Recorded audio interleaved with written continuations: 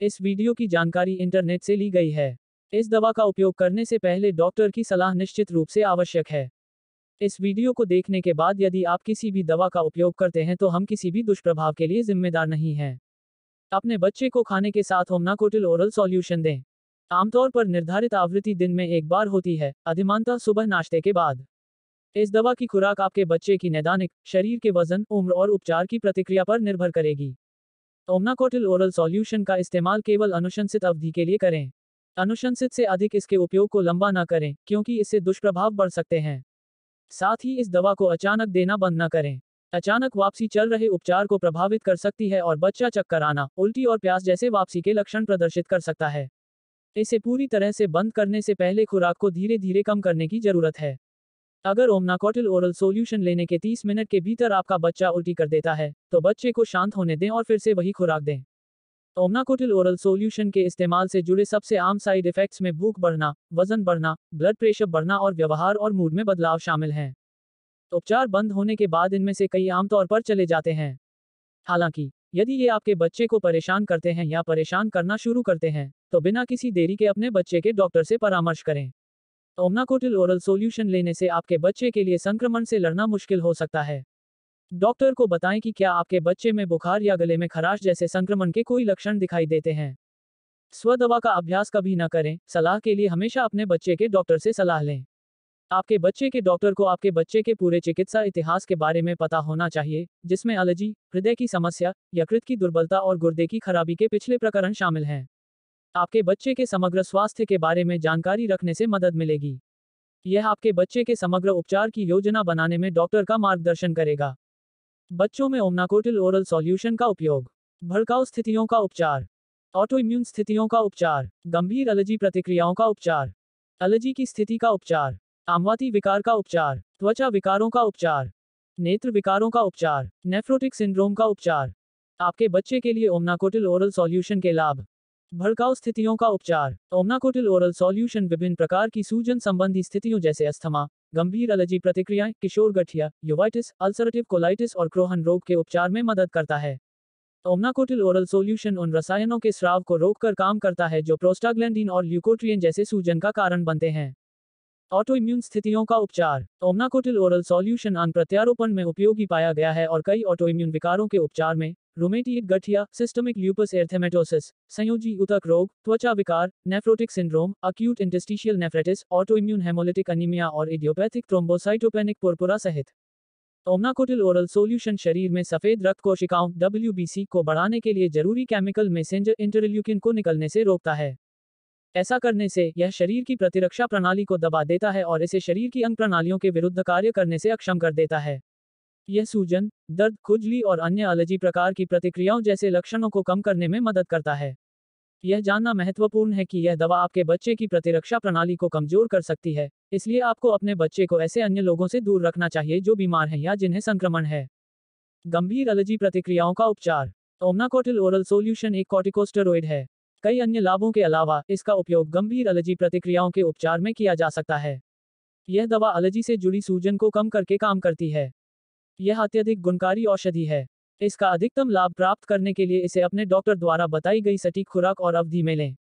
Allergy की स्थिति का उपचार। ओमनाकोटिल ओरल सॉल्यूशन शरीर में सूजन पैदा करने वाले पदार्थों को निकलने से रोकता है।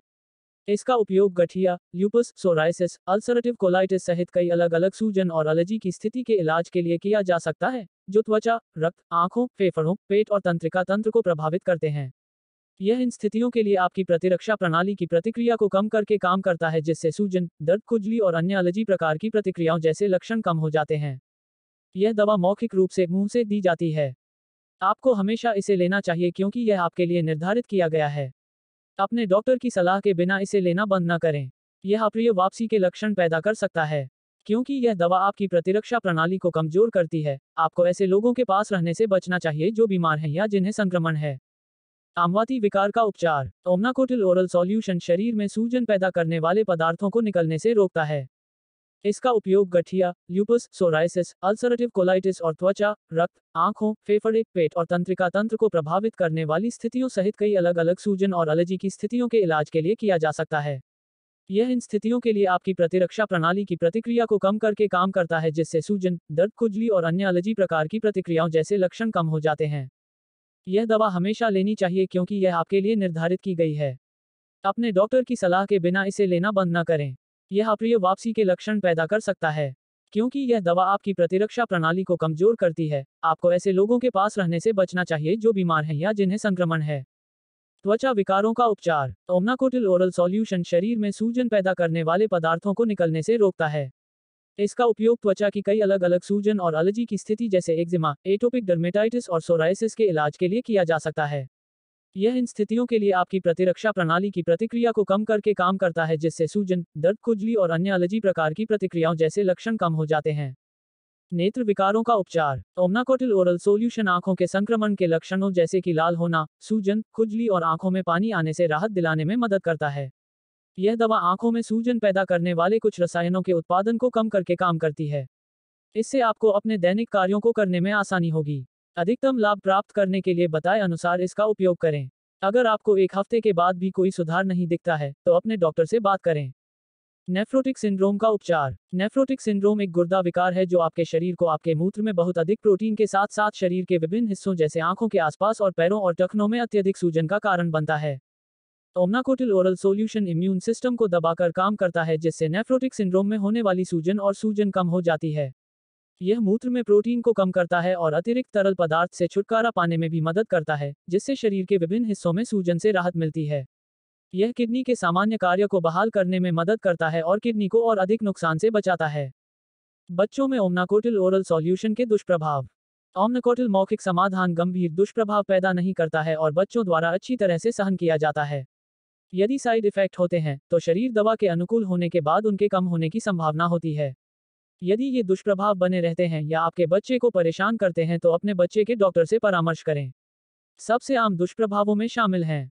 ओमनाकोटिल के सामान्य दुष्प्रभाव, चिड़चिड़ापन, आसान खरोंच विकास मंदता उपश्वसन पथ का संक्रमण, खांसी बार बार पेशाब करने की इच्छा होना, बालों का असामान्य विकास, मोटापा, अस्थि घनत्व में कमी। पेट की खराबी, व्यवहार परिवर्तन, मनोदशा में बदलाव, भार बढ़ना। मैं अपने बच्चे को ओमनाकोटिल ओरल सॉल्यूशन कैसे दे सकता हूँ? इस दवा को अपने डॉक्टर द्वारा बताई गई खुराक और अवधि में लें। उपयोग से पहले दिशाओं के लिए लेबल की जाँच करें। इसे मापने वाले कप से मापें और इसे मुँह से लें। इस्तेमाल से पहले अच्छी तरह हिलाएँ। ओमनाकोटिल ओरल सॉल्यूशन को भोजन के साथ लेना बेहतर होता है। वीडियो को पूरा देखने के लिए आपका बहुत बहुत धन्यवाद।